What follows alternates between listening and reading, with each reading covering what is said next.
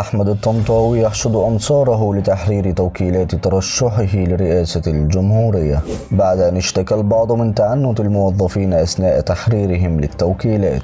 فقد بدأ تحرير التوكيلات منذ يوم الثلاثاء الماضي ثم علق الطنطاوي حملته لمدة يومين ليعود مرة أخرى ويحشد مؤيديه لتحريرها. وكان قد تعهد بالترشح للرئاسة عن طريق توكيلات الشعب بدلا من توصيات مجلس النواب.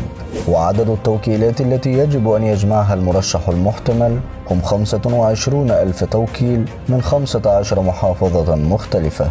وأكد أن هذا الطريق هو طريق الشعب الذي يعتبر نفسه واحدا منهم.